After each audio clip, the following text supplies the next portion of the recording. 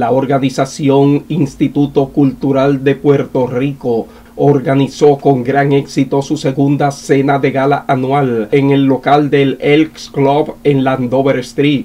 La organización cultural que fundó José Arnaldo Dávila, quien funge como presidente desde el año 2020, tiene como objetivo resaltar los valores y costumbres de la isla del encanto. Realmente estoy agradecido de todos ustedes. Eh, queremos reconocer la presencia Señoras y señores, en una noche tan especial como la que hemos vivido en el día de hoy en la ciudad de Lawrence, no podíamos dejar pasar la oportunidad de conversar con el principal responsable de lo que ha acontecido aquí, una noche espectacular por todo lo alto, esta segunda gala anual del Instituto de Cultura Puertorriqueña en Nueva Inglaterra, su presidente, José Dávila. Qué placer. Gracias, no, el placer es mío tenerte aquí con nosotros esta noche de, ¿cómo te puedo llamar? De, honores a, estos puertorriqueños destacados de, de nuestro Puerto Rico. Así es, así es. Muchísimas felicidades. Esto ha sido un éxito rotundo. Bueno, yo creo que superamos el año pasado. El año pasado fue un exitazo, pero este año ustedes se votaron. Yo creo que sí. Este año llenamos las expectativas y nos pasamos del límite. Sí, sí. Eh, nos pasamos de verdad y, estoy bien contento por la, por la gente, ¿verdad? Que, que, dijo sí, vamos a estar ahí, vamos a enaltecer nuestra cultura puertorriqueña. Y eso fue lo que hicimos esta noche hacer que se sintiera bien esa cultura puertorriqueña.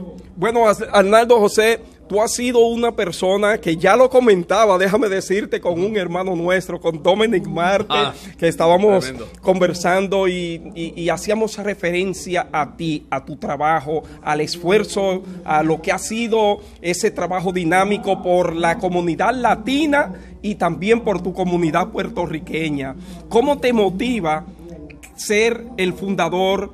cómo inicia esa idea de crear una organización que exalte lo más puro de la cultura puertorriqueña en esta parte de Estados Unidos. Pues fíjate, eh, Néstor, yo, como tú, como tú sabes, eh, estuve eh, en Semana Hispana alrededor de 8 años, 10 años más, eh, pero me debía toda la cultura. Correcto. Yo quería trabajar por mi cultura puertorriqueña, pues pero se dio, ahora se dio, el 2020 se dio, y yo dije, bueno, pues entonces vamos a, vamos a buscar un grupo que de, de, verdad, eh, verdaderamente quiera trabajar por nuestra cultura puertorriqueña porque estaba en el limbo. La, la, cultura puertorriqueña no se estaba escuchando aquí en Nueva Inglaterra realmente.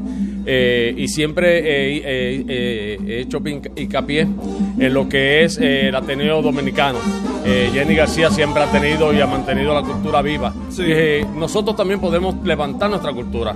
Y estoy muy, muy contento porque pues Ateneo ha hecho un trabajo e- excepcional, de verdad que sí. Eh, felicito a esa, a esa institución eh, de Ateneo.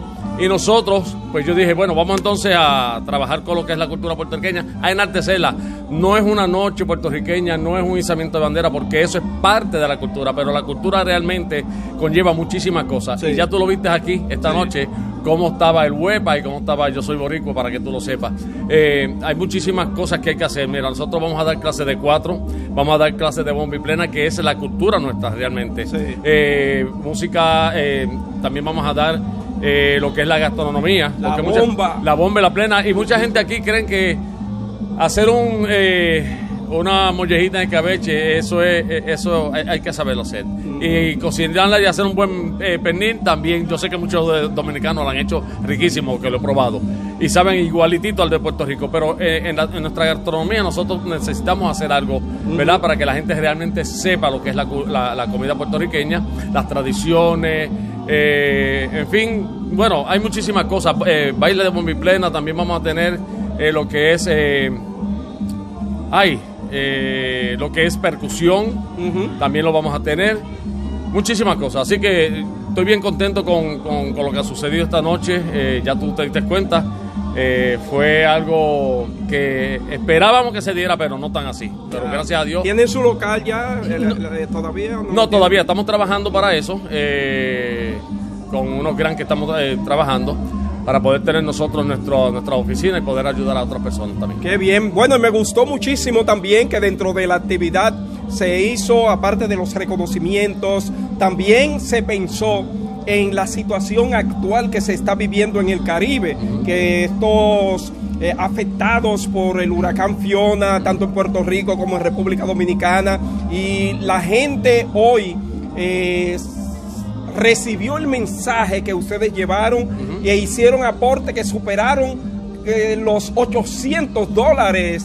creo que fueron 824, 842 dólares eh, y esa es parte de esto. El sentimiento, muy, bueno, muy El sentimiento, cuando tú, cuando tú buscas el sentimiento a, una persona, pues la persona actúa de inmediatamente.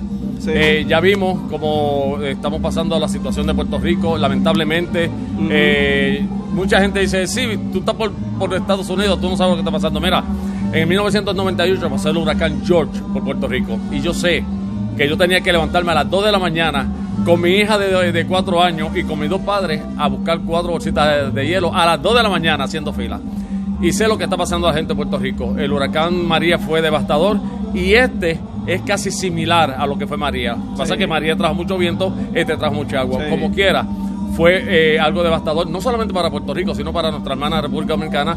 Parte de Cuba también eh, cogió y, es lamentable. Pero nosotros estamos aquí para levantarnos, para ponerle a Puerto Rico, a la República Dominicana y a quien necesite, vamos a estar ayudando eh, el Instituto Cultural de Puerto Rico. Arnaldo José, qué placer, hermano mío.